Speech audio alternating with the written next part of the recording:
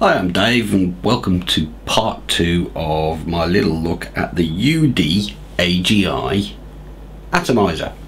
Now in part one we had a look at the AGI uh, being used as a Genesis tank atomizer, so looking a bit like that. But of course it can also be used as a dripper. Uh, so what I'm going to do in uh, the second part of this little review is um, is set it up as a dripper and see how it performs. Before we do that though, uh, I have seen comments on forums, um, including from uh, Darren at SaferCigs, who sent me this to to put through its paces. Um, that it can be a little bit leaky in dripper mode. So before we set it up and start using it, we're going to do a little experiment just to see what we're up against. First thing I need to do then to get this into dripper mode is just remove the top cap and then you unscrew the top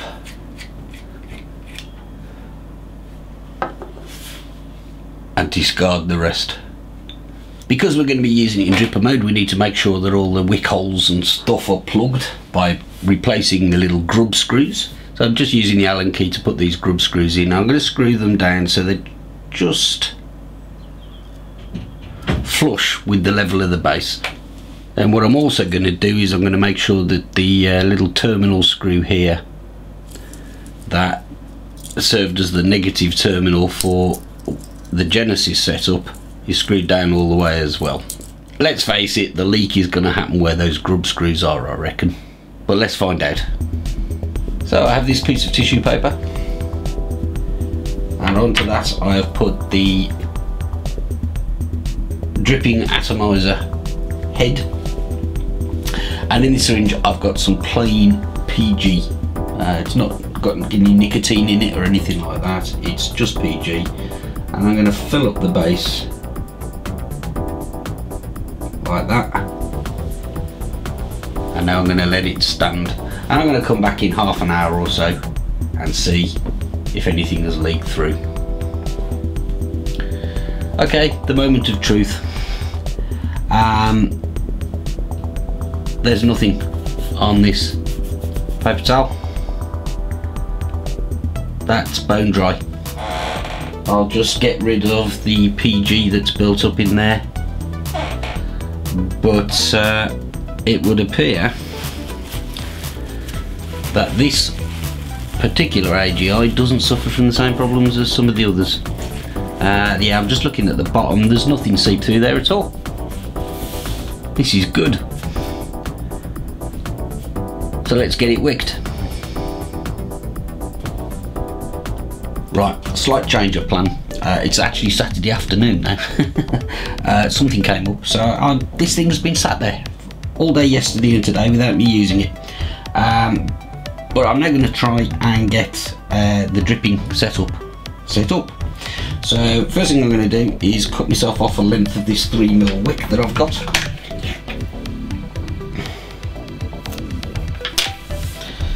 That might be a bit too long but we'll see and I've got a length of Kanthal here. 0.2 Kanthal that I tend to use on all my rebuildables. Now it should be pointed out that despite what Dave Dorn said on the Haze Hour last Thursday about me knowing what I'm doing with coiling silica wicks it's just not true. I've done a few but I've never done a dripping atomizer before. So uh, pretty much anything could happen here.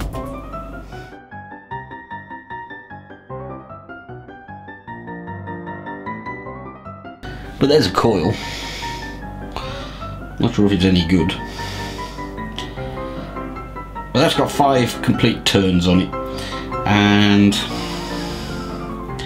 looking at this, you've got like a little hole in the negative post here to thread the wire through. And the top one is the one that I used when we did the Genesis setup which is just basically a clamp terminal. So, um, so let's slacken those off a bit.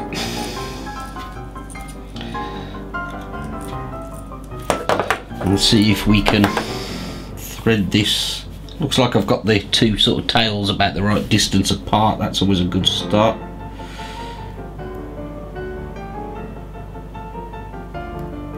cool that's fiddly okay but we're in. We're in.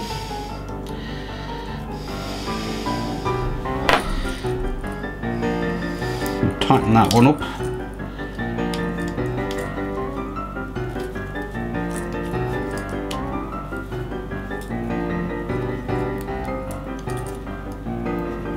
Oh, I snapped the wire.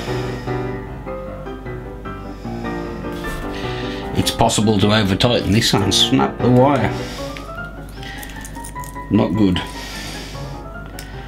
Start again.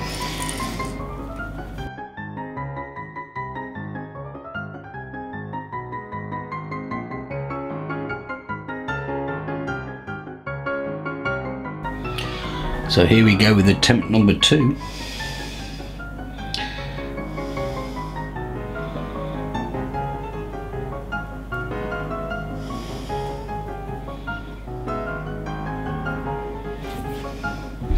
Right, well I've made something like a coil anyway. It's not that neat actually. I'm just going to use a pin just to try and make that a little bit more evenly spaced. That doesn't look too bad. I have no clue what the resistance on this thing's going to be when I try it. But first thing we'll do is just try and pulse it a little bit and see if it works at all. As you can see something's happening there.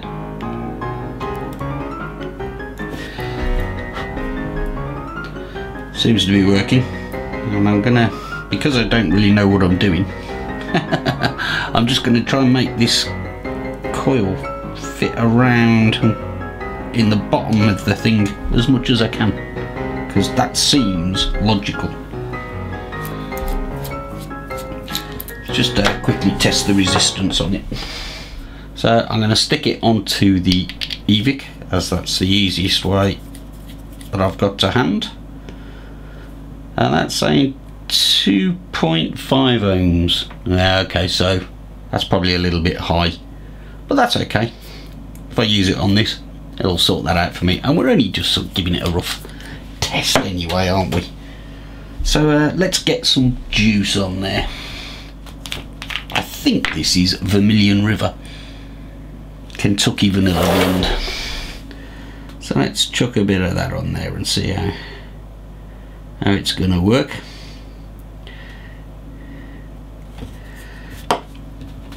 Tuck that bit of wick back in. And then I'm just going to stick the top cap with the drip tip just the way it was in the Genesis setup on the top. So as I say, um, it's currently half past five on Saturday afternoon. Uh, tomorrow morning I shall uh, film an update and see how well it's performing. I mean, that was easy to wick. I've never done it before and I've come up with something that works. Probably could have been a bit neater in truth.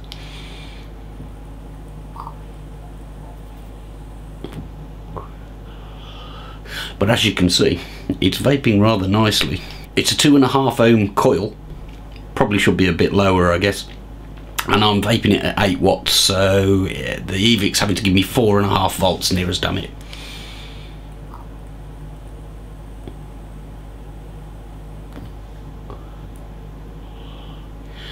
it's producing very very well I'm getting more vapor from this from what I thought was a really nice Genesis setup on it the other day so um, it's not going to be a chore to endure this for the next 24 hours I don't think.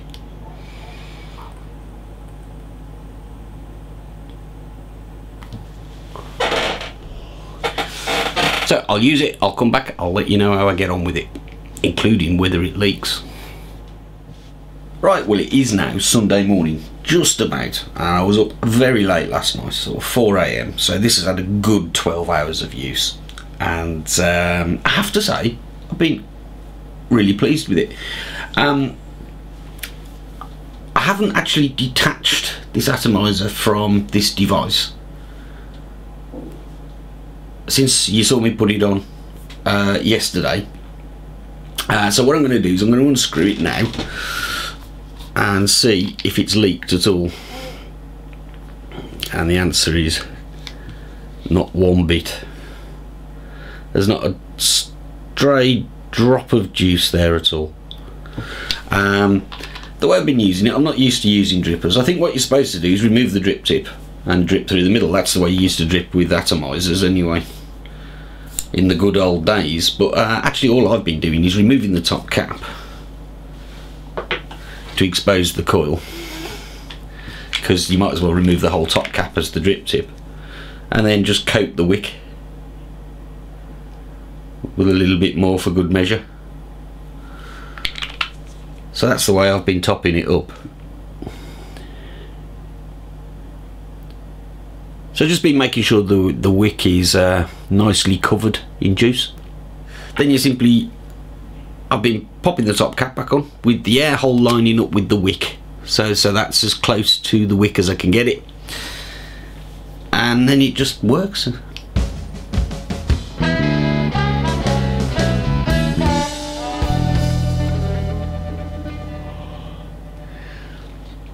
can see it produces really well as I was saying yesterday um, it's a very pleasant vape um, so to wrap up then um, there were the people who were doing this sort of pre-release test for Safer Cigs.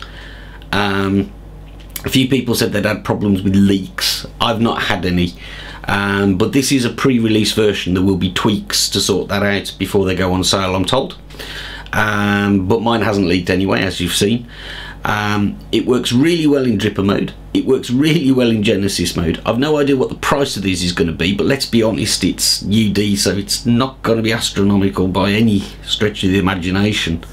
Uh, I think what you've got here is a damn good atomizer. It's stainless steel. The uh, glass tank for the Genesis setup is is Pyrex. Um, it's a good quality atomizer. The threads on the fittings inside are they seem pretty good to me. Uh, got no problems. The top cap, even though it's held by O-rings, can quite easily support the weight of an Evic. Um, it's good and tight.